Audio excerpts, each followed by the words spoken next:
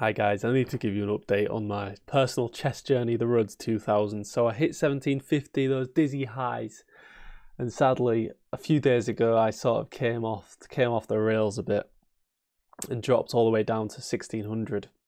Uh, I've managed to get back up a little bit, but yeah, it comes in waves. You know, chess improvement. It's always up and down, but uh, yeah, now is the time for reflection. So this video, I'm going to go through six of my hardest losses on this recent downturn and try and learn stuff here.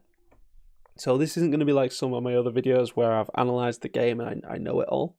This is me asking questions, learning about the position, and just, you know, you can see the process of how, how we sort of learn at chess. So I might ask you some questions as as like the viewer. So I think I like to think that's one of the cool things about this channel that you know we're all helping each other out because I'm not super high rated like some of the other some of the other YouTubers. So I got this position and already I can tell I'm tilted here. This was one of my tilted games. So I'd say one of the biggest reasons I, I lost all this rating was playing tired and, and like playing tilted as well. So I'm playing the Caro-Kann as white. That's how tilted I am. I thought this was black. Alright, but let's move on from that. And uh, yeah, we're in a game anyway. So I'm playing this Caro-Kann pawn break. Uh, the engine's saying that I could have gone for this check. And if here, we've just created a big weakness, I think.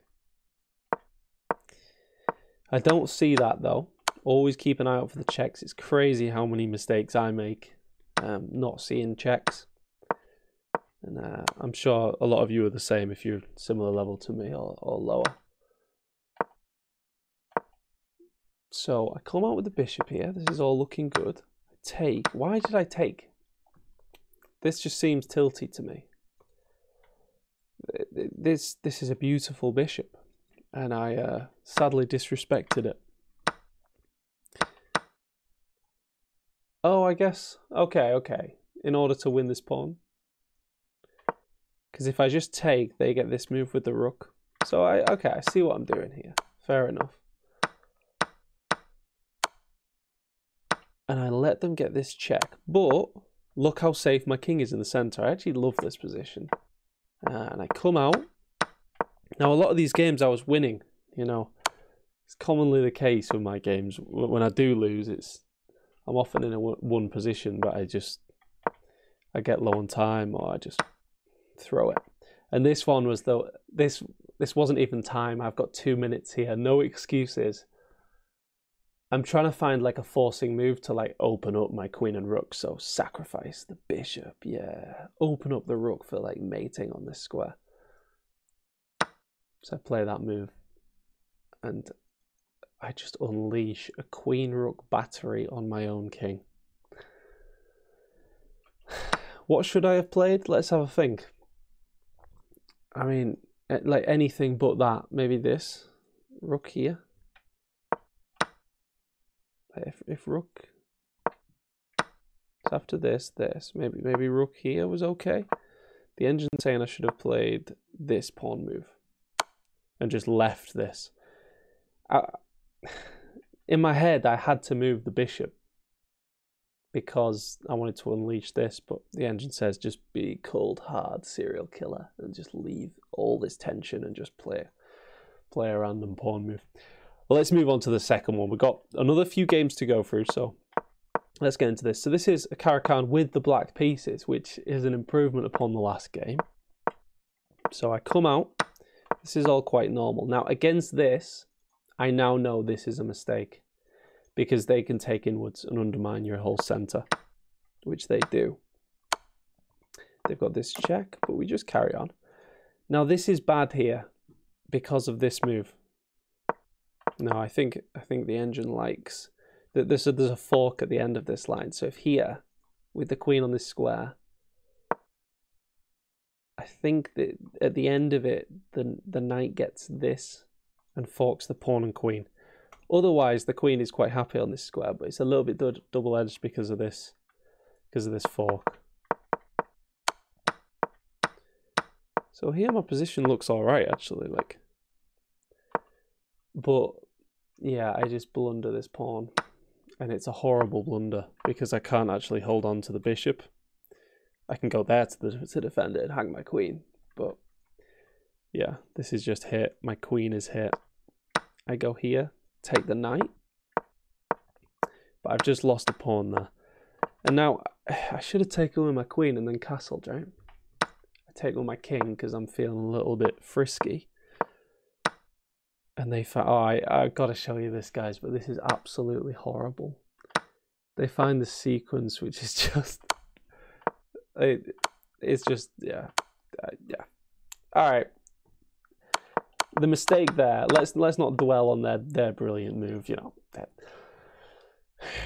But yeah, the the mistake here was was just hanging that pawn and this sort of alignment issue with my queen and queen and bishop on like a mortal coil together, and they they sort of attack both at the same time. Quite a weird tactic, but destructive nonetheless. Okay, game number three. I hope you learn alongside with me, guys. Taking in some of these, some of these little uh, things in the Caro-Kann. So I take the queen, and here we're just better. So I've, I've, well, I've certainly equalised here as black, and in fact, I'm half a pawn up. So I come out with the bishop, threatening to damage the structure, which I do. And again, this position looks so nice. What? Why are these pawn moves not good? Like I'm just shutting down this dark square bishop. The engine likes instead maneuvering the knight getting like a stronghold knight on this square here. The engine likes expanding like this, leaving yourself with this target. Is is there anyone really high rated in the comments, guys? Because that makes absolutely no sense to me. Like this, this showing off the bishop just looks better. Maybe this is more active for my knights. To be fair, I think that's probably the idea. So Anyway, let's get back into the game. Let's stop looking at these crazy engine lines. So I go like this. Take it in order to damage the structure. I believe if they took with the king, I've got this fork at the end of it. So they take with the pawn. I still take there. And now I just trade everything off. And here I'm just I'm just way better. I defend that. My opponent not realizing that here double isolates my pawn and it's just really good for them. Or it's, it's their best try anyway. And I trade off the rooks. And here I'm in this knight versus bishop endgame, but I've got more pawns. And they've got these horrible pawn islands. And this should be completely won. But I, and in an endgame, I sort of switch on my endgame head, right? And I turn off my tactical head. And here I was just fi- find the move for white. I was just not not keeping an eye out for tactics at all. And there was just this a straight up like early middle game sort of idea of the the fork, the uh, the skewer.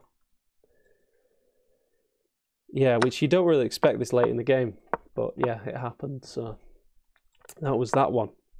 Okay. So again, another like similar structure like the Slav here. I go for this, like if they take, I just develop a piece. I thought that was alright. Engine doesn't like it as much. Okay, here, why is that bad?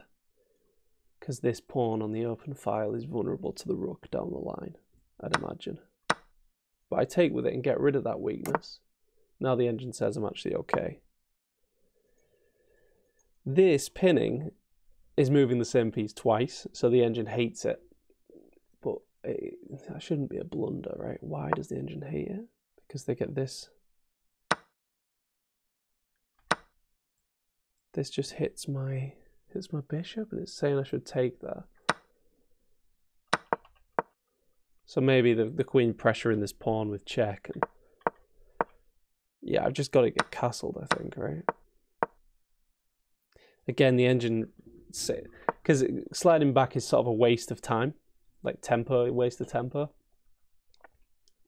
So the engine is saying just take it, because it's important for me to like. I don't know why I'm not castling here. and eventually it bites me in the bum. Because they, they find, again, my opponent find it a brilliant move, but it's it's a fairly easy to find because you you sacrifice your queen, but you get two rooks and a knight, and that just looks horrible. And I'll I'll I'm going to cover my eyes for a second and just let you see how how my opponent dispatched me here. But it was uh this was truly nasty. Like I even I even had to sacrifice my queen at the end. Like this just the pitiful spite check at the end leading to his checkmate. Sad, sad times, guys. So my goal is to hit 1800 before before New Year, which seems a little bit far away right now. After losing that 150 points, but hopefully we'll come back. Here, I love this. You know, we push in the center. We love that. If they go here, it's horrible. Yeah, you just you just double isolate their pawns in the center of the board and win a pawn. And this is just completely won. We've got the full center. Engine prefers their lining up here. They're just threatening mate. I guess if here they've got to defend it with the queen, maybe. And the engine says, then take the full center after. Because this is sort of a free development of the piece, because they, they have to respond to it. They've got to block in their own bishop. So it's a nice little move to throw in. Even if it's just quite a like simple threat, still a very good move. So I developed my queen here, and this is the one I'm really annoyed about. Like this is such a simple tactic, winning the rook. We threaten, we threaten checkmate. If they push the pawn, we we just take the rook, and they can't defend here with the bishop because the pawn takes, right? So they throw in check. I didn't like the idea of this, this, this because of this, which is fair enough. So I had to move the king. And then I throw in this this bishop move here, but it's too late because, you know, there's no threat anymore, really.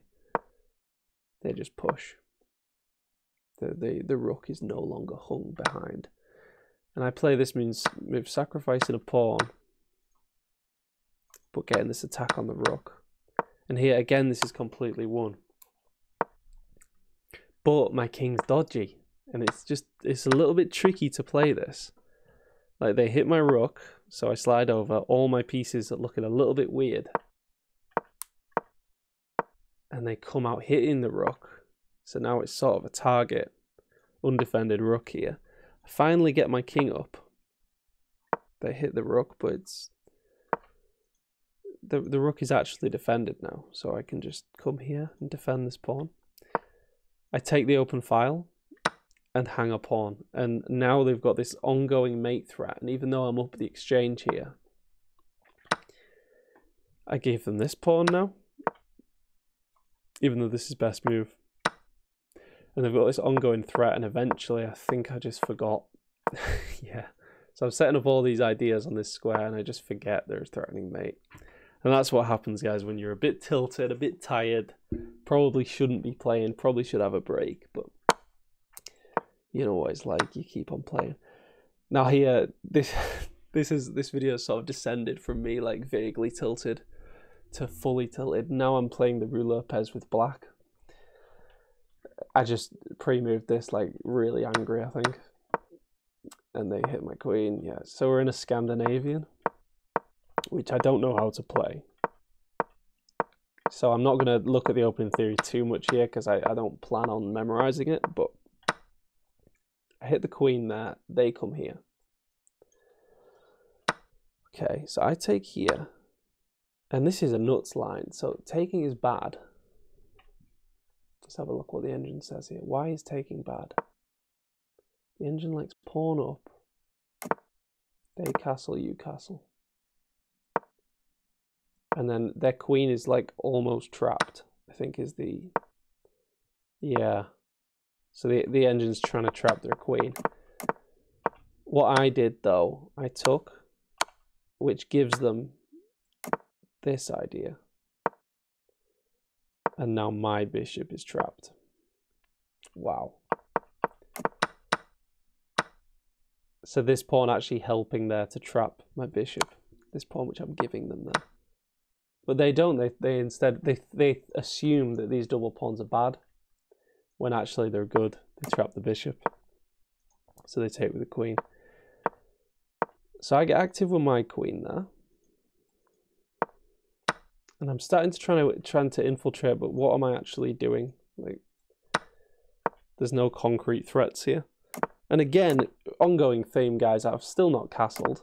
Eventually do hit their queen, line up with the king. So this is looking a little bit better. They go for this pawn break, which is just not sound, and hit my queen. And I find this great move. In between move, before dealing with the queen issue, we've just got this check. They can't take because of this. This pawn being pinned to the king. So they have to just move their king. And now I, why didn't I just take the piece which I won? I did. Oh, so I realized this was an in-between move with check, winning a pawn. I didn't realize I just won the bishop as well. Damn it. That's uh, that's bad. And now I take it. So this is like the most won position ever. I'm just up a full piece. There I could have just come in and check and, and you know, it's over. Instead, I retreat, getting a little bit scared for a second, instead of keeping my foot on the pedal, right? And now it's just, I'm just up a full piece with 40 seconds on the clock. They defend very well, and I'm trying to bring my knight here to do something here. I do win that pawn, but they just refuse to, to trade rooks, right? I even win that rook with this little tactic here. Look, revealed, revealed attack, check, hitting the rook. And after a few more moves, I'm just getting too low on time. So that's that's an overview of my recent games. Why I lost 150 elo. As you can see, a little bit of tilt there, a little bit of playing tired when I shouldn't be playing, and as always, the time issues. These are not excuses. I'm trying to I'm trying to you know, address it now. Like here, if I'd played more clinically, uh, this is a perfect example. If I'd just taken here with the queen early, earlier on, like instead of retreating with the queen, if I'd just like taken like here, play more clinically and don't because because uh, if you've got time issues, guys, you've got to find ways of speeding the game up, I think, by playing more clinically. And sometimes counterintuitively, taking a bit more time to find the clinical line to save time in the future, maybe. I don't know. That's my thinking going forward. Uh, I hope you learned a bit and uh, let me know in the comments where I'm going wrong in your opinion. Uh, like and subscribe. I'll see you next time. Cheers.